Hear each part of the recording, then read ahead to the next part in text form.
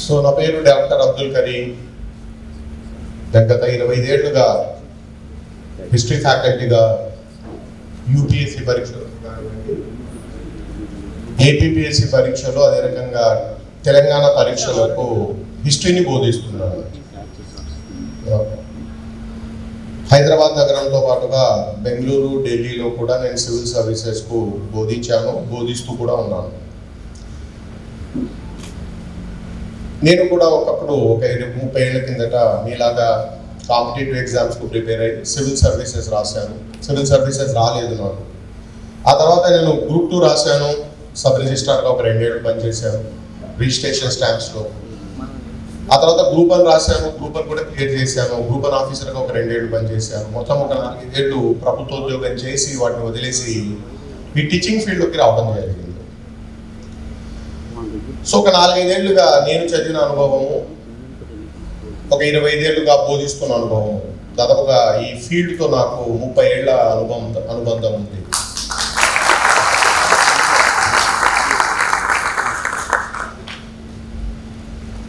నేను గట్టిగా విశ్వసించేటువంటి విషయం ఏంటంటే మా విద్యార్థులందరికీ ప్రతి బ్యాక్లో నేను చెప్తుంటాను. మన పరీక్ష స్థాయి కంటే మన ప్రిపరేషన్ స్థాయి ఉన్నతంగా ఉంటేనే మనకు విజయం సాధి సాధించడం జరుగుతుంది. అంటే సివిల్ సర్వీస్ ఎగ్జామ్ అంటే బాగా చదవాలి ఎక్కువ శ్రమ పడాలి. గ్రూప్ వన్ అంటే కొంత తగ్గించుకున్న పర్వాలేదు. గ్రూప్ టూ ఇంకా చిన్న ఎగ్జామ్ కాబట్టి ఇంకా కొంత తగ్గించుకోవాలి. ఇక ఇంకా ఇంకా చిన్న ఎగ్జామ్స్కి అయితే ఊరికే పై పైన ప్రిపరేషన్ అనుకుంటే చాలా పొరపాటు. చాలా మంది విద్యార్థులు ఈ రకమైన అపోహలో ఉంటారు. చిన్న పరీక్ష కాబట్టి చిన్న స్థాయిలో నేను ప్రిపేర్ అవుతాను. చాలా తప్పండి ఎప్పుడు నేను చెప్పే విషయం ఏంటంటే మన మన ఎగ్జామ్ స్థాయి కంటే ప్రిపరేషన్ స్థాయి ఎప్పుడు ఉన్నతంగా ఉంటేనే విజయం దక్కుతుంది. ఉదాహరణకు నేను గ్రూప్ వన్ గ్రూప్ టూలకు కోచింగ్ తీసుకోలేదు. సివిల్ సర్వీసెస్కు కోచింగ్ తీసుకున్నాను. రాత్రి కష్టపడ్డాను. సివిల్ సర్వీసెస్ ఇంటర్వ్యూ దాకా వెళ్ళొచ్చాను సర్వీస్ రాలేదు. ఆ తర్వాత ఆ ప్రిపరేషన్తో నేను గ్రూప్ వన్ గ్రూప్ టూ రాశాను వచ్చేసింది. ఎందుకు నాకు సునాయాసంగా గ్రూప్ వన్ గ్రూప్ టూలు వచ్చాయంటే నా ప్రిపరేషన్ అంతకంటే కొద్దిగా హై స్థాయిలో ఉంది. తర్వాత మా చాలా మంది గ్రూప్ టూ విద్యార్థులు మా దగ్గర కోచింగ్ తీసుకున్నటువంటి వేలాది మంది గ్రూప్ టూ విద్యార్థులు అందరికీ గ్రూప్ టూ రాలేదు. తర్వాత ఆంధ్రప్రదేశ్లో ఈ గ్రామ సచివాలయ ఉద్యోగాలు లక్షకు పైగా వేయడం. వాటిని కొట్టిన వాళ్ళు ఎవరంటే గ్రామ సచివాలయాలకు ప్రిపేర్ అయిన వాళ్ళకి ఉద్యోగాలు రాలేదు. ఎవరైతే గ్రూప్ టూ చదివారో ఎవరైతే గ్రూప్ టూ కోసం ప్రిపేర్ అయ్యారో వాళ్ళు దాన్ని సునాయాసంగా ఆ ఉద్యోగాలను కొట్టేయడం జరిగింది. అంటే దీని నుంచి మనం నేర్చుకోవాల్సినటువంటి విషయం ఏంటంటే మన ప్రిపరేషన్ అనేటువంటిది అత్యున్నతమైనటువంటి స్థాయిలో ఉండాలి. విజయం అనేటువంటిది ఎన్ని మార్కులు వచ్చాయనేటువంటి దానిపైన ఆధారపడి ఉండదు. విజయం అనేటువంటిది పక్కవాడి కంటే ఒక మార్క్ ఎక్కువగా ఉంటుంది మన యూనివర్సిటీ పరీక్షల్లో కాలేజీ పరీక్షల్లో మనం చూసాము అరవై మార్కులు తెచ్చుకున్న వాళ్ళందరికీ ఫస్ట్ క్లాస్ అని డెబ్బై ఐదు మార్కులు తెచ్చుకుంటే డిస్టింక్షన్ అని. కాంపిటేటివ్ ఎగ్జామ్లో ఇది సరిపోదు. కాంపిటేటివ్ ఎగ్జామ్లో మీకు ఎన్ని మార్కులు వచ్చాయనేటువంటిది అనవసరము. ఏంటి అవసరం అంటే పక్కవాడి కంటే ఒక మార్క్ ఎక్కువగా రావాలి. ఎన్నైనా పర్లేదు. మనకు. వందకు తొంభై వచ్చాయి పక్కవాడికి తొంభై ఆరు వచ్చాయి. జీరో అండి మనం. తొంభై ఐదు తెచ్చుకొని కూడా జీరో అవుతాము. లేదా ఒక్కొక్కసారి వందకు నలభై మార్కులు తెచ్చుకున్నాము పక్కవాడికి ముప్పై తొమ్మిదే వచ్చాయి అప్పుడు మనం హీరో అవుతాము. అంటే దీన్ని కంపారిటివ్ మెరిట్ అంటాము పోటీ పరీక్షలు ఉన్న కఠినత్వం ఏంటంటే ఇది కంపారిటివ్ మెరిట్కు సంబంధించినటువంటిది. పరుగు పందెము. ముందు ఎవడైతే వాడే విజేత. సో ఇక్కడ ఈ పరీక్ష యొక్క కఠినత్వము పెరగడానికి ఇది ప్రధానమైనటువంటి అంశము. సో ఈ అంశాలను దృష్టిలో పెట్టుకొని విద్యార్థులు ప్రిపేర్ కావాల్సినటువంటి అవసరం ఉంటుంది. నేను ముఖ్యంగా ఒక మూడు అంశాల పైన మాట్లాడతాను. వాటికంటే ముందు ఈరోజు ప్రోగ్రామ్ ఏదైతే దాదాపుగా టెన్ థర్టీకి స్టార్ట్ అయింది ఒంటి గంట రెండు గంటల వరకు కూడా వెళ్ళొచ్చు. ఇందులో మూడు భాగాలు ఈరోజు కార్యక్రమంలో మూడు భాగాలుగా ఉండొచ్చు ఉంటాయి. మొదటి భాగం ఏంటంటే నాతో పాటుగా మతోటి అధ్యాపకులు వాళ్ళ వాళ్ళ సూచనలను మీకు పంచుకోవడము లేదా వాళ్ళ యొక్క అనుభవాలను వాళ్ళ సబ్జెక్టులో ఉన్న అనుభవాలను మీతో పంచుకోవడం జరుగుతుంది. దాని తర్వాత మిగతా ముగ్గురు కూడా మాట్లాడతారు. మొదటి భాగం. ఆ తర్వాత మీకు గ్రూప్ టూ సిలబస్ ఆధారంగా ఒక టెస్ట్ను కండక్ట్ చేయడం జరుగుతుంది. సో మీ ప్రిపరేషన్ స్థాయి ఏంటి అనేటువంటిది మీరు టెస్ట్ చేసుకోవడం. వీలైనంతగా ఆ టెస్ట్లో మేము చేసినటువంటి పని ఏంటంటే ప్రశ్నపత్రాన్ని సంక్లిష్టంగా కంటెంట్ గ్రూప్ టుదే సిలబస్ కానీ అడిగిన విధానము కొంత సంక్లిష్టంగా ఇవ్వడం. ఆ రకంగా విద్యార్థులు ప్రిపేర్ కావాలనేటువంటి ఉద్దేశంతో ఒక test one hour one hour test మీరు రాయడం జరుగుతుంది. ఆ తర్వాత టెస్ట్ ఎక్స్ప్లెనేషన్ పార్ట్ కూడా ఉంది ఇప్పుడు నేను హిస్టరీ ఎక్స్ప్లెనేషన్ ఇస్తాను మిగతా ఫ్యాకల్టీలు వాళ్ళ వాళ్ళకి సంబంధించిన అంశాలను మీకు వివరించడం జరుగుతుంది. టెక్స్ట్ ఎక్స్ప్లెనేషన్ ఆ టెక్స్ట్ ఎక్స్ప్లెనేషన్ అయ్యేసరికి ఇవాల్యుయేషన్ జరిగిపోతుంది మీ మార్కులు ఇవ్వడం జరుగుతుంది. అంటే దాదాపుగా ఇవాల్యుయేషన్ అదంతా కూడా ఒక థర్టీ ఫార్టీ మినిట్స్ పడుతుంది. ఆ థర్టీ ఫార్టీ మినిట్స్లో టెస్ట్ ఇవాల్యూ టెస్ట్ గురించి మేము చర్చించడం జరుగుతుంది. మీ ఇవాల్యుయేషన్ పూర్తయిన తర్వాత మొదటి ముగ్గురు ర్యాంకర్స్ ఎవరైతే ఉంటారో వాళ్ళ కొంత నగదు బహుమతులు ఇవ్వడం జరుగుతుంది.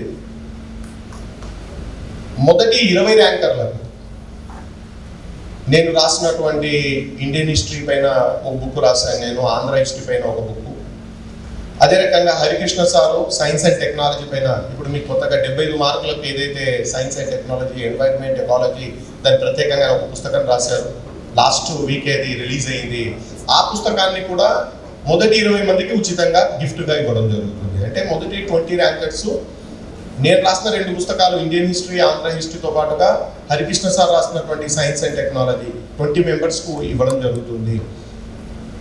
మొదటి ముగ్గురికి మాత్రం క్యాష్ ప్రైజ్ ఇవ్వడం జరుగుతుంది. డబ్బు అనేటువంటిది ఇంపార్టెంట్ కాదు కానీ పుస్తకాలు పుస్తకాలు మార్కెట్లో కూడా ఉంటాయి కొనొచ్చు. కాకపోతే ఈ టెస్ట్లో మీరు రాణించడం అనేటువంటిది చాలా ఇంపార్టెంట్ అండి. దాన్ని మీరు దృష్టిలో పెట్టుకొని టెస్ట్ రాయండి. సో దాంతో మన ప్రోగ్రామ్ ముగుస్తుంది. ఇక నేను ముందుగా ఆర్సీ ఎగ్జామ్ సంస్థ గురించి కొన్ని విషయాలు మాట్లాడి తర్వాత నా సబ్జెక్ట్కు సంబంధించిన అంశాలు నేను మాట్లాడతాను. ఈ ఆర్సీ ఎగ్జామ్స్ను ఒక త్రీ ఇయర్స్ బ్యాక్ కరోనా సమయంలో కిరణ్ కుమార్ ఇందాక ఈ కార్యక్రమాన్ని మొత్తం నిర్వహిస్తున్నటువంటి వ్యక్తి ఆర్సీ ఎగ్జామ్స్కు చైర్మన్ ఆయన స్థాపకుడు కూడా దీనికి. సో ఈయన ఈ ఆర్సీ ఎగ్జామ్ అనే సంస్థను స్థాపించడం జరిగింది.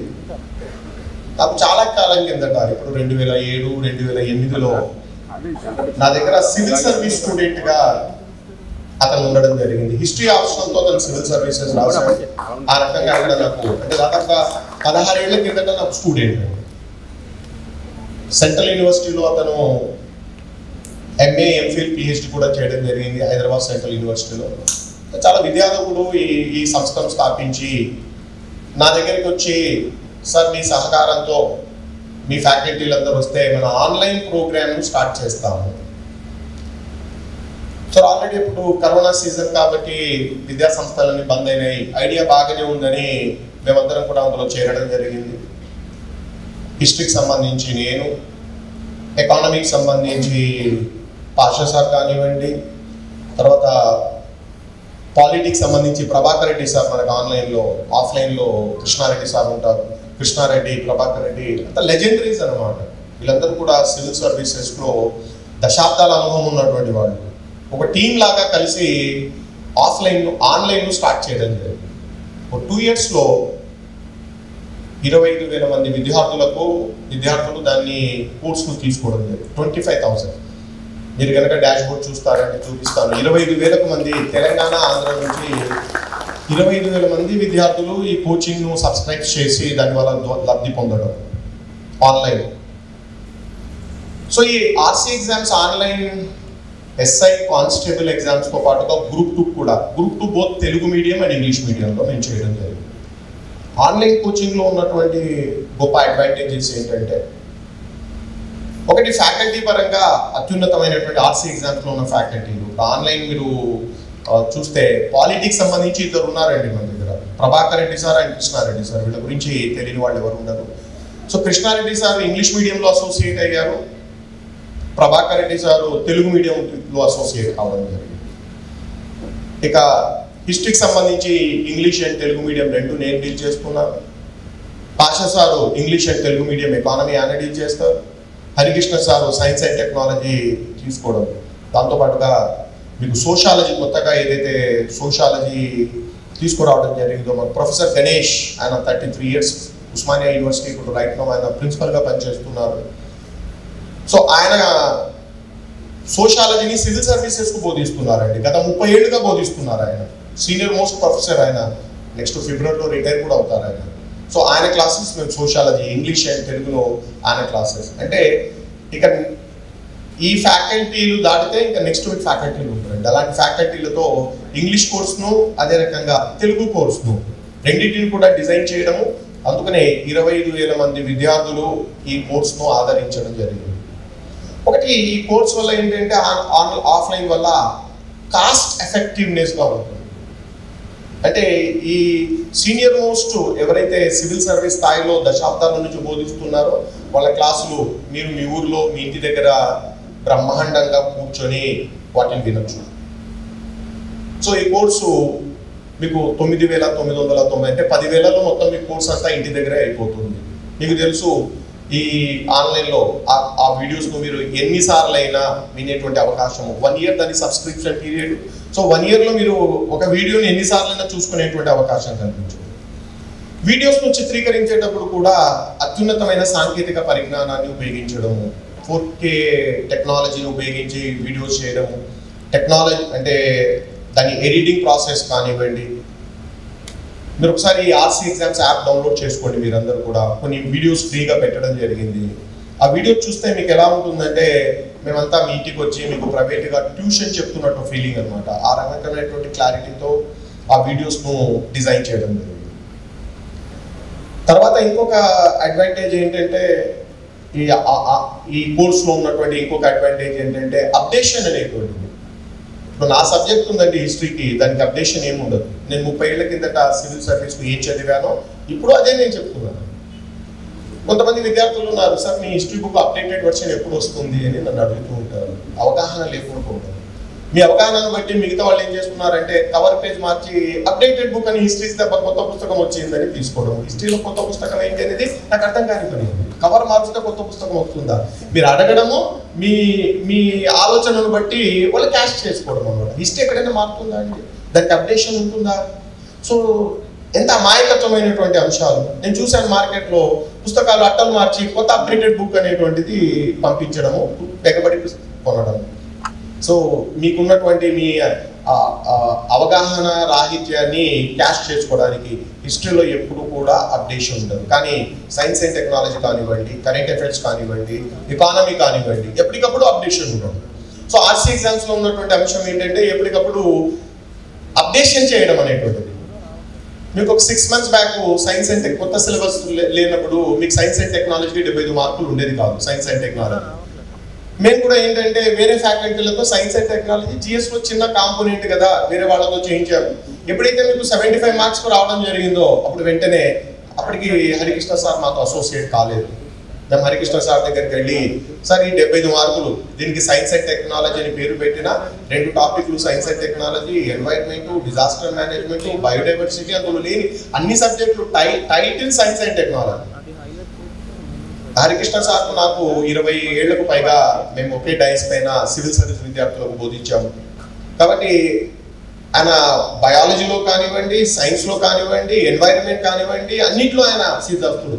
అన్ని మొత్తం ఆ మీ ఏరియాలన్నీ ఒకరే ఎవరైనా చెప్పగలరంటే తెలుగు రాష్ట్రాల్లో నేను ఖచ్చితంగా చెప్పగలను ఆయన మాత్రమే. లేకపోతే మీరు ఎక్కడైనా వెళ్ళినా కూడా ముగ్గురు నలుగురు చెప్పాల్సి వస్తుందండి. ఆ పేపర్లు ఒకరే చెప్పారంటే మీరు గల్లంతు.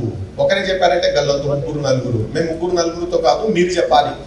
ఎప్పుడైతే మీకు సిలబస్ కొత్తగా ఇచ్చారో వెంటనే మేము సార్ను అంతకుముందు సార్లు లేదు మనకు. వెంటనే సార్ను తీసుకొని డెబ్బై ఐదు మార్కులతో ఆయనకు ఆయనతో క్లాసెస్ చెప్పించడం. ఇక ఎకానమీ అంటారా? ఎకానమీ పాత వీడియోలు అన్నీ పక్కన పెట్టి అన్ని కొత్త వీడియోస్ అనమాట ఎప్పటికప్పుడు అప్డేషన్ అనమాట కాబట్టి మీకు రెండు వేల ఇరవై ఒకటి వీడియోలు రెండు వేల ఇరవై నాలుగులో రెండు వేల ఇరవై మూడులో ఉండవు. సో ఆయన నిరంతరంగా ఇప్పటికి కూడా ఆ కోర్సులో పాత వీడియోస్ తీయడము దాన్ని రీప్లేస్ చేయడము. మీ సిలబస్కి అనుగుణంగా. సో ఈ రకంగా ఎప్పటికప్పుడు ఇక కరెంట్ అఫైర్స్ అయితే మంత్లీ వైజ్గా రివైజ్ చేయడం. సో అప్డేషన్ అనేటువంటిది ఈ ఈ ఆర్సీ ఎగ్జామ్స్ ఆన్లైన్ కోర్సులో ఉన్నటువంటి చాలా ప్రధానమైన అంశం. సో తెలుగు మీడియం వాళ్ళకు Telugu medium course English medium వాళ్ళకు కూడా ఇంగ్లీష్ మీడియం కోర్సు. ఒక ఉన్నత స్థాయిలో నేను ఇందాక చెప్పాను కదా మన పరీక్ష లెవెల్ కంటే ప్రిపరేషన్ స్థాయి ఉన్నతంగా ఉండాలి. మీ ప్రిపరేషన్ స్థాయి ఉన్నతంగా ఉండాలంటే మా టీచింగ్ స్థాయి కూడా ఉన్నతంగా ఉండాలి. సో ఆ ఆ రకంగా వాటిని డిజైన్ చేయడము. ఇంకా అన్నిటికంటే ఈ ఆఫ్లైన్ ఆన్లైన్ యొక్క అడ్వాంటేజ్ ఎవరికంటే ఎవరైతే ఊరు వదిలి బయటికి వెళ్ళి రాలేని వాళ్ళు హైదరాబాద్కు రాలేని పరిస్థితుల్లో ఉన్న వాళ్ళు గృహిణీలు కానివ్వండి ఉద్యోగాలు చేసుకునే వాళ్ళు కానివ్వండి రాలేని వాళ్ళు వాళ్ళు బ్రహ్మాండంగా వాళ్ళ ఫ్రీ టైంలో ఎప్పుడైనా కానీ చూసుకునేటువంటి అవకాశం.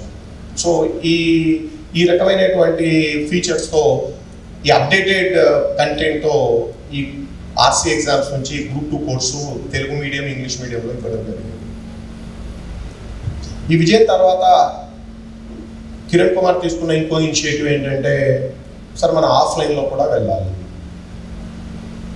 సో ఈ ఆఫ్లైన్ అనే ఆలోచన రెండు వేల ఇరవై మూడులోనే స్టార్ట్ అయింది. సో ఆఫ్లైన్కు గాను offline RC exams offline offer చేస్తుంది. అత్యున్నతమైనటువంటి ఫ్యాకల్టీలతో అనే మెసేజ్. పరిచయం విద్యార్థులకు పరిచయం అవసరం కాబట్టి సాక్షి మీడియాతో కలిసి రాష్ట్రంలో ఒక పది ప్రధానమైనటువంటి పట్టణాలు ఏవైతే ఉన్నాయో అక్కడ ఇలాంటి కార్యక్రమాలు అందులో ఇదే చివరి కార్యక్రమం. ఇంతకుముందు విజయనగరంలో కూడా చేసాము ఇక్కడ నెల్లూరు గుంటూరు అనంతపూరు కర్నూలు ఇవన్నీ కూడా ఇలాంటి కార్యక్రమాలు చేసి last month one month forty days back first batch offline మేము స్టార్ట్ చేయడం జరిగింది. సో విద్యార్థులు దాన్ని ఆదరించారు. అది వెంటనే ఒక వన్ వీక్లో ఫుల్ అయిపోయింది. మాది లిమిటెడ్గా ఉంటుంది స్ట్రెంగ్త్ లిమిటెడ్గా class strength hundred and forty hundred and fifty. So that ప్రతి స్టూడెంట్ను స్టూడెంట్ పైన ప్రతి ఒక కాన్సన్ట్రేటెడ్గా చూడడం. బహుశా మీ ఫ్రెండ్స్ కూడా చాలా మంది మాకు వచ్చిన విద్యార్థులు ఎక్కువగా ఉత్తరాంధ్ర నుంచి ఎక్కువగా వచ్చారు ఈ బ్యాచ్లో ఇప్పుడు ఉన్నటువంటి బ్యాచ్లో ఉత్తరాంధ్ర విద్యార్థులు చాలా ఎక్కువగా ఉన్నారు. సో మేము అవలంబించినటువంటి పద్ధతి ఏంటంటే ప్రిలిమ్స్ అండ్ మెయిన్స్ను సరిగా బ్యాలెన్స్ చేసుకుంటూ వెళ్ళడం. ఇప్పుడు వాళ్ళకు హిస్టరీ ఇండియన్ హిస్టరీ జాగ్రఫీ ప్రిలిమ్స్కు సంబంధించినటువంటి రెండు సబ్జెక్టులు బోధిస్తున్నాను మెయిన్స్కు సంబంధించి సైన్స్ అండ్ టెక్నాలజీ ఎకానమీ కరెక్ట్గా గంటన్నర గంటన్నర గంటన్నర గంటన్నర ఆరు గంటలు క్లాసు గంటన్నర అంటే ఒకేసారి ఉదయం నుంచి సాయంత్రం వరకు ఒకే సబ్జెక్ట్ చెప్పినా నెగిటివ్లోకి వెళ్ళిపోతుంది. అలా కాకుండా నలభై రోజుల్లో ఈ రోజు నలభై రోజులు అయింది ఫస్ట్ బ్యాచ్ స్టార్ట్ అయ్యి మీ ఫ్రెండ్స్ ఉంటే కనుక్కోండి ఒక్క రోజు కూడా ఎక్కడ బ్రేక్ రాలేదు. బ్రేక్ కావాలంటే మధ్యాహ్నం బ్రేక్ తీసుకోండి మార్నింగ్ ఇప్పుడు మధ్యాహ్నం బ్యాచ్ వాళ్ళకు మధ్యాహ్నం ఉంటుంది మార్నింగ్ బ్యాచ్ వాళ్ళకు మార్నింగ్ ఇప్పుడు ఉన్నటువంటిది మార్నింగ్ బ్యాచ్ సో నాలుగు సబ్జెక్టులు నాలుగు గంటన్నరలు.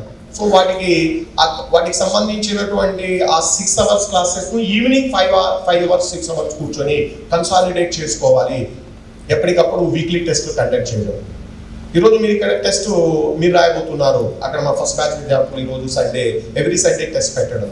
అంటే ఆ వన్ వీక్లో ఏ క్లాసెస్ జరిగాయో ఆ క్లాసెస్ పైన టెస్ట్ చేయడము ఇవాల్యుయేషన్ చేయడం.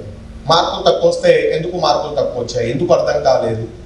సో ఈ రకమైనటువంటి ఒక పర్సనల్ అటెన్షన్తో కోర్స్ను ఇప్పుడు ఈరోజు పన్నెండు గంటలు కరెక్ట్గా పన్నెండు గంటలకు మీకు టెస్ట్ స్టార్ట్ అవుతుంది. అక్కడ మాకు ఫస్ట్ బ్యాచ్ విద్యార్థులు కూడా పన్నెండు గంటలకు టెస్ట్ రాయడం సో ఈ రకంగా సండేస్ మనము so teaching testing and evaluation ఈ పద్ధతి ద్వారా ఈ ఆఫ్లైన్ క్లాసెస్ను టేకప్ చేయడం జరిగింది. అది కూడా డెడికేటెడ్గా సిక్స్ మంత్స్లో కోర్స్ను కంప్లీట్ చేయడం. అందుకనే స్టూడెంట్స్ వచ్చి సార్ సండే. ఇంతవరకు సిక్స్ సండేస్ అయిందండి ఇప్పటికి మనం స్టార్ట్ చేసి. సిక్స్ సండేస్లో ఒక సండే కూడా హాలిడే ఉంటుంది మరి ఒక సబ్జెక్ట్ను నాలుగైదు గంటలు చెప్పించింది కూడా లేదు. గంటన్నర మాత్రమే ఏ సబ్జెక్ట్ ఏమవుతుందంటే చాలా ఫ్రెష్గా వెళ్ళిపోవడం జరుగుతుంది. సో ఒక సిక్స్ మంత్స్లో పక్కాగా కోర్స్ను ప్లాన్ చేయడం. నేను చెప్పాను కదా నెక్స్ట్ లెవెల్ ప్రిపరేషన్ అనేటువంటిది ఆ నెక్స్ట్ లెవెల్ ప్రిపరేషన్లో కొంతమంది స్టూడెంట్ చెప్పారు సార్ ఈ స్థాయిలో చదవడం అవసరమా? ఖచ్చితంగా అవసరం. ఎందుకంటే మేము అనుభవంతో చెప్తున్నటువంటిది.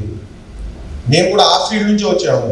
ఇక్కడ ఉన్న వాళ్ళు ఎవరు కూడా కాలేజీలలో లెక్చరర్లుగా పనిచేయలేదండి. అందరూ కూడా పోటీ పరీక్షలు కూడా పాషా సార్ కూడా గ్రూప్ ఆఫీసర్గా పనిచేసి ఉద్యోగం వదిలి పెట్టవచ్చు వచ్చి వాళ్ళు సో ఆ ఫీల్డ్ నుంచి కాంపిటేటివ్ ఫీల్డ్ నుంచి వచ్చిన వాళ్ళము. కాబట్టి ఏ రకంగా వెళితే బాగుంటుంది ఒక పక్క ప్లాన్ తీసుకొని ముందుకు వెళ్ళడం జరుగుతుంది. సో ఈ మొదటి బ్యాచ్ ఇప్పుడు సెకండ్ బ్యాచ్ అనేటువంటిది ఈ నెల ఎనిమిదో తేదీన క్లాసెస్ స్టార్ట్ అవుతుంది. ఇది మధ్యాహ్నం బ్యాచ్ అన్నమాట. సో లిమిటెడ్ స్ట్రెంగ్తో వెళ్ళడం. అంటే ఆఫ్లైన్ ఏమాత్రము మరి హైదరాబాద్కు రాలేని నగరానికి రాలేనటువంటి పరిస్థితుల్లో ఆన్లైన్ అనేటువంటి ఉత్తమము. ఏమాత్రం మీరు హైదరాబాద్కు రాగలము ఒక ఆరు నెలలు నేను ఇన్వెస్ట్ చేయగలను నా టైంలో అనుకుంటే ఆఫ్లైన్. ఆఫ్లైన్ వల్ల ప్రయోజనాలు అంటే మీరు ఎవ్రీడే టీచర్తో ఇంటరాక్ట్ కావడం మీ డౌట్స్ ఉంటే క్లారిఫై కావడం. అన్నిటికంటే ఇంపార్టెంట్ ఏంటంటే మ్యూచువల్ ఇంటరాక్షన్ అనేటువంటిది. క్లాస్లో కూర్చున్నటువంటి వాళ్ళతో ఇంటరాక్షన్ ఉండడము హాస్టల్లో డిస్కషన్ జరగడము. అసలు ఎన్వైరన్మెంట్ కాంపిటేటివ్ ఎన్వైరన్మెంట్ ఏముంది అనేటువంటిది. ఆన్లైన్లో మీరు ఊర్లో కూర్చున్నారనుకుంటే ఐసోలేట్ అవుతారు అనమాట అంటే ఆ కాం ఆ కాంపిటేటివ్ ఎన్వైరన్మెంట్ మీరు తెలుసుకోలేరు అనమాట అది ఆఫ్లైన్ వల్ల సాధ్యం అవుతుంది కాబట్టి దేని అడ్వాంటేజెస్ దానికి ఉన్నాయి దేని డిసడ్వాంటేజెస్ దానికి ఉన్నాయి. సో ఆన్లైన్తో సాధించిన విజయంతో ఆర్సీ ఎగ్జామ్స్ అనేటువంటిది జస్ట్ లాస్ట్ మంత్ ఒక ఫార్టీ ఫైవ్ డేస్ కిందటే ఈ ఆఫ్లైన్ స్కీమ్లు కూడా ఇక ఆఫ్లైన్ కంటిన్యూ అవుతుంది బ్యాచ్ ఆఫ్టర్ బ్యాచ్ అనేటువంటిది కంటిన్యూ అవుతుంది. సిక్స్ మంత్స్ టైము గంటన్నర క్లాసులు అది కూడా ప్రిలిమ్స్ అండ్ మెయిన్స్ రెండింటిని సక్రమంగా బ్యాలెన్స్ చేసుకుంటూ ముందుకు వెళ్ళడం అనేటువంటిది జరుగుతుంది. ఓన్లీ ప్రిలిమ్స్ ప్రిలిమ్స్ దగ్గర ఉంది కదా అని మొత్తం ప్రిలిమ్స్ చెప్పామనుకోండి ఆ తర్వాత మెయిన్స్ సమస్య. ఎందుకంటే మీకు విజయం అనేటువంటిది ఫైనల్గా మెయిన్స్లో వచ్చిన మార్కులే డిసైడ్ చేస్తాయి. దాన్ని ఎట్టి పరిస్థితుల్లో నెగ్లెక్ట్ చేయకూడదు. ఒక ఐదు మార్కులు తక్కువ అయిపోయాయి అనుకోండి ఒక ఐదు మార్కులు ఎక్కువ అయితే మీరు డిప్యూటీ తహసీల్దార్ అవుతారు ఐదు మార్కులు తక్కువ వచ్చాయి అనుకోండి గ్రామ పంచాయతీలో ఎగ్జిక్యూటివ్ ఆఫీసర్ కదా ఆ డిప్యూటీ తహసీల్దార్ నాలుగేళ్ళకు ఎంఆర్ అవుతాడు పదేళ్ళకు ఆర్డీఓఈ వస్తాడు. ఈ గ్రామ పంచాయతీ ఎగ్జిక్యూటివ్ ఆఫీసర్ గ్రామ పంచాయతీ ఎగ్జిక్యూటివ్ ఆఫీసర్ కింద ఉంటాడు. మూడు మార్కులు తక్కువ వచ్చినందుకు జీవితకాలం అంతా మీరు సబార్డినేట్గా ఉండాల్సి వస్తుంది. జస్ట్ ఒక మూడు నాలుగు మార్కుల్లోనే. ఇది మెయిన్స్లో ఉన్నటువంటిది. కాబట్టి ఉద్యోగం రావడం కాదు ఏ ఉద్యోగం రావడం అనేది కూడా చాలా చాలా ఇంపార్టెంట్. సో ఈ రెండింటికి తేడా ఒక మూడు నాలుగు మార్కులు. ఎందుకంటే మెయిన్స్ పరీక్షలను చాలా జాగ్రత్తగా చూడడము. ఎందుకంటే ఇక్కడ మేము నలుగురము మెయిన్స్ ఫ్యాకల్టీ ఇక్కడ. ఆంధ్ర హిస్టరీ నేను డీల్ చేస్తాను ఎకానమీ పాషర్ సార్ చూస్తారు కృష్ణారెడ్డి సార్ క్వాలిటీ చూస్తారు అదే రకంగా Harikrishna sir science and technology అంటే మీకు పేపర్ వన్ అండ్ పేపర్ టూలో ఏదైతే మీకు మూడు వందల మార్కులు ఉన్నాయో మూడు వందల మార్కులు బోధించేటువంటి మేము నలుగురము డయస్ పైన వచ్చి మీతో అడ్రస్ చేయాలనే ఉద్దేశంతో రావడం జరిగింది. ప్రిలిమ్స్లో మనం క్వాలిఫై అయితే చాలు. ఫోకస్ అంతా మెయిన్స్ పైన ఉండాలి. సో దాన్ని జుడిషియస్గా ఎలా ముందుకు తీసుకెళ్ళాలి? ఏ ఫ్యాకల్టీ దొరికితే ఆ ఫ్యాకల్టీతో ముందు చెప్పించడం కాదు. పద్ధతి ప్రకారము ఏది అవసరమో రెండింటిని ఏ రకంగా బ్యాలెన్స్ చేయాలి? లేదంటే ఈ ఫ్యాకల్టీ వచ్చారు కాబట్టి ఉదయం ఐదు ఆరు నుంచి రాత్రి ఏడు వరకు చెప్పించడము ఉండదు. ఏ టైం అయితే ఉందో ఆ టైం ఎట్టి పరిస్థితుల్లో కూడా ఆ ఆ సెషన్ ఆ టీచర్ ఆ సెషన్లో రావాల్సిందే. అది ఎందుకు సాధ్యమవుతుందంటే హైదరాబాద్లో ఈ ఫ్యాకల్టీలంతా హైదరాబాద్ వాళ్ళే అక్కడే ఉంటుంది కాబట్టి ఫ్యాకల్టీ అవుతుంది. అవుట్ స్టేషన్ నుంచి వస్తే నేను కూడా అవుట్ స్టేషన్ బెంగళూరు ఢిల్లీ వెళ్తాను. మార్నింగ్ నుంచి ఈవినింగ్ వరకు చెప్పాల్సింది తప్పదు. కాబట్టి ఆ సమస్య అనేటువంటిది ఉండదు. అప్పుడు ఆ ప్రిపరేషన్ డిఫరెంట్గా ఉండడం జరుగుతుంది. సో ఈ నెల మన ఎనిమిదో తేదీ సెకండ్ బ్యాచ్ను స్టార్ట్ చేయబోతున్నాం. ఇక చివరిగా నా సబ్జెక్ట్ విషయానికి వస్తే మీకు ప్రిలిమ్స్లో ముప్పై మార్కులకు ఇండియన్ హిస్టరీని తర్వాత మెయిన్స్లో మొదటి పేపర్లో డెబ్బై ఐదు మార్కులు ఆంధ్ర హిస్టరీకి కేటాయించడం జరిగింది. అంటే టోటల్గా మీ ప్రిలిమ్స్ అండ్ మెయిన్స్ నాలుగు వందల యాభై మార్కులు అయితే అందులో అన్నిటికంటే అత్యధిక మార్కులు హిస్టరీకే కేటాయించడం నూట ఐదు మార్కులు. ఈసారి కొత్తగా ప్రాచీన భారతదేశ చరిత్రను మధ్యయుగ భారతదేశ చరిత్రను కూడా జోడించారు. ఇంతకుముందు ఓన్లీ మోడర్న్ ఇండియా ఉండేది. ఇప్పుడు ancient Indian history medieval Indian history modern Indian history ముప్పై మార్కులకు ancient Andhra medieval Andhra modern Andhra డెబ్బై ఐదు మార్కులు. నా బోధనలో ఎలా ఉంటుందంటే రెండింటిని ఇంటిగ్రేటెడ్గా తీసుకెళ్ళి కాంప్రహెన్సివ్గా చర్చించడం. ఇంటిగ్రేటెడ్గా అంటే ఇండియన్ హిస్టరీ బ్యాక్గ్రౌండ్ లేకుండా ఆంధ్ర హిస్టరీ చదవడం అనేటువంటిది అంతకంటే అమాయకత్వము అజ్ఞానం మరొకటి భారతదేశ చరిత్ర ఇప్పుడు ఇండియన్ ఎకానమీ చదవకుండా ఓన్లీ ఆంధ్ర ఎకానమీ చదివితే ఎలా ఉంటుందో? ఇండియన్ హిస్టరీ క్లాసెస్ వినకుండా మీరు ఆంధ్ర హిస్టరీ క్లాసెస్ విన్నారంటే అయిపోయింది మీ పని అయిపోయింది. ఎందుకంటే ఇండియన్ హిస్టరీ బ్యాక్గ్రౌండ్లో ముందుకెళ్తూ బౌద్ధ జైన మతాలు ఆంధ్రలో పుట్టలేదండి. ఇండియాలో పుట్టేది నాగరికత మొట్టమొదటి నాగరికత ఆంధ్రలో రాలేదు. ఎక్కడో సింధు లోయలో గంగా నది లోయల్లో. కాబట్టి అసలు నాగరికతలు ఏంటి మతాలు ఏంటి ఎప్పుడు పుట్టాయి ఎక్కడ పుట్టాయి వాటి ఎక్స్టెన్షన్ ఆంధ్రలో ఎలా ఉందనేటువంటిది వెళ్ళడం ఇప్పుడు ఢిల్లీ సుల్తాన్ల గురించి చదవకుండా మీరు కాకతీయుల గురించి ఎందుకంటే కాకతీయ రాజ్యాన్ని ఢిల్లీ సుల్తాన్లు జయించారు. అసలు ఢిల్లీ సుల్తాన్లు ఎవరైనా ఐడియా రావాలి? ఆధునిక భారతదేశ చరిత్రకు వచ్చినప్పుడు భారతదేశాన్ని ఆంగ్లేయులు ఎలా జయించారు? బెంగాల్ను ఎలా జయించారు? మైసూర్ను ఎలా జయించారు? లేకపోతే కర్ణాటక రాజ్యాన్ని ఎలా జయించారు? పంజాబ్ను ఎలా జయించారు? అది పూర్తి కాగానే ఆంధ్రను ఎలా జయించారు? ఉత్తరాంధ్రను ఎలా జయించారు? వాళ్ళు ఉత్తర సర్కారులను లేదా రాయలసీమను ఎలా జయించారు? ఇంటిగ్రేటెడ్గా వెళ్ళడం పద్దెనిమిది వందల యాభై ఏడు తిరుగుబాటు జరిగింది. భారతదేశంలో పద్దెనిమిది వందల యాభై ఏడు తిరుగుబాటు ఎందుకు ఎప్పుడు ఎలా జరిగింది? ఆంధ్రలో దాని సంఘటన లేని అంటే ఆ బ్యాక్గ్రౌండ్ లేకుండా ఇది మనం చర్చించలేము. సామాజిక మత సంస్కరణ ఉద్యమాలు భారతదేశంలో సంస్కరణ ఉద్యమాలు ఉన్నాయి ఆంధ్రలో సంస్కరణ ఉద్యమాలు ఉన్నాయి.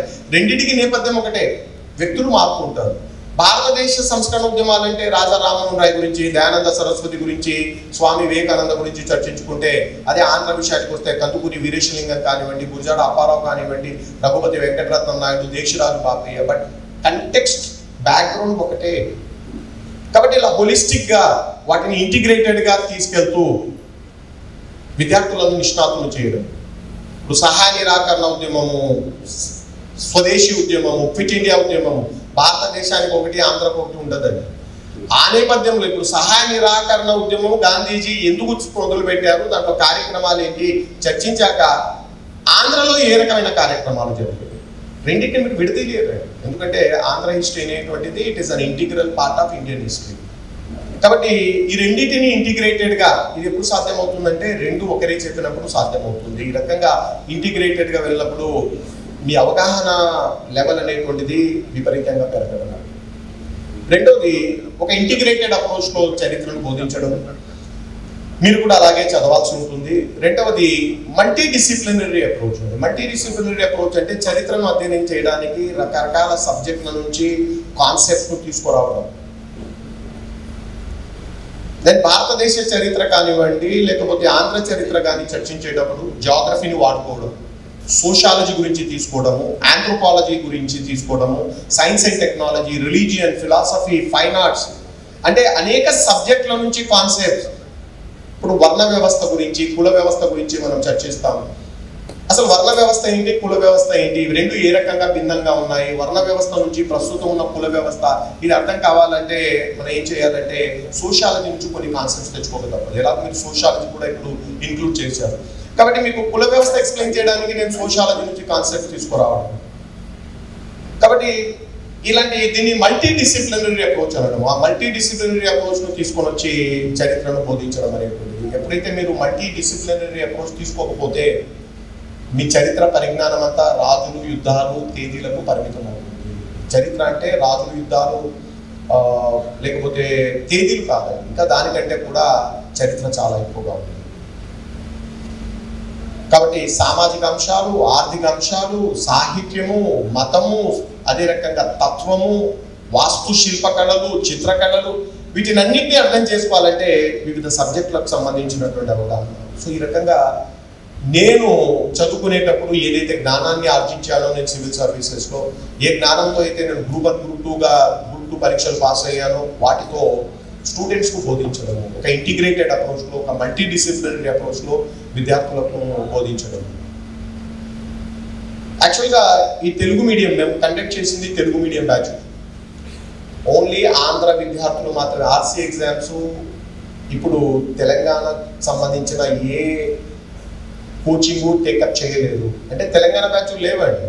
జనరల్గా చాలా మంది హైదరాబాద్ అంటే భయపడేది ఏంటంటే మేము హైదరాబాద్కి వస్తే తెలంగాణ గ్రూప్ టూ విద్యార్థులను ఆంధ్రకు ఇద్దరిని ఒకే చోట కూర్చోబెట్టి కంబైన్డ్గా చెప్తున్నారు గందరగోళం చేస్తున్నారు. ఆ- ఆ ప్రసక్తి ఆర్సీ ఎగ్జామ్స్లో రాదు. ఎందుకంటే ఇక్కడ తెలంగాణకు సంబంధించిన ఏ కోర్సు మా దగ్గర లేదు.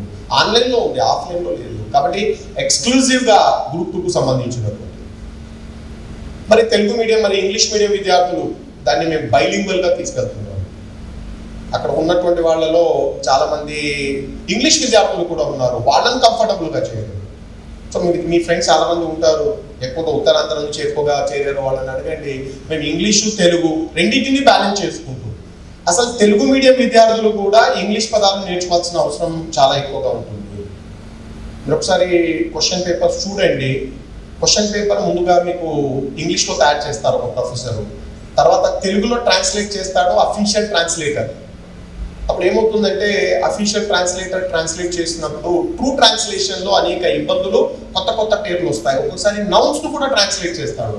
నౌన్స్ను ట్రాన్స్లేట్ చేయడం. నాకు గుర్తుందండి ఒకసారి యూనో యంగ్ ఇండియా అనే పత్రిక ఎవరు స్థాపించారని ఇంగ్లీష్లో అడిగాడు మహాత్మా గాంధీ యంగ్ ఇండియా. దాని తెలుగులో యువ భారతం అనే పత్రిక ఎవరు స్థాపించాడు వాడు యంగ్ ఇండియాను ట్రాన్స్లేట్ చేశాడు. నేను ట్రాన్స్లేట్ చేస్తే అంతే సంగతి. చా అంటే ట్రాన్స్లేట్ చేయాల్సినటువంటి వాటిని చేయకుండా ఒకసారి డాక్ట్రిన్ ఆఫ్ ల్యాబ్స్ అనే సిద్ధాంతం ఎవరిది అన్నాడు. డాక్ట్రిన్ ఆఫ్ ల్యాబ్స్ తెలుగులో మనం రాజ్య సంక్రమణ సిద్ధాంతం ఆ ట్రాన్స్లేటర్కు తెలియదు. ట్రాన్స్లేషన్ రాలేదు. వాడు ఏం చేశాడంటే తెలుగులో కూడా డాక్ట్రిన్ ఆఫ్ ల్యాబ్స్ ఇచ్చేసాడు. కాబట్టి ఇంగ్లీష్ పదాలు తెలుగు మీడియం విద్యార్థులకు కూడా చాలా అవసరం. అందుకనే ఆ వాటిని దృష్టిలో పెట్టుకొని అటు ఇంగ్లీష్ పదాలు అటు తెలుగు. లాంగ్వేజ్ మాత్రం తెలుగులోనే ఉంటుంది. టెర్మినాలజీ మొత్తం ఇంగ్లీష్లో తీసుకుంటుంది.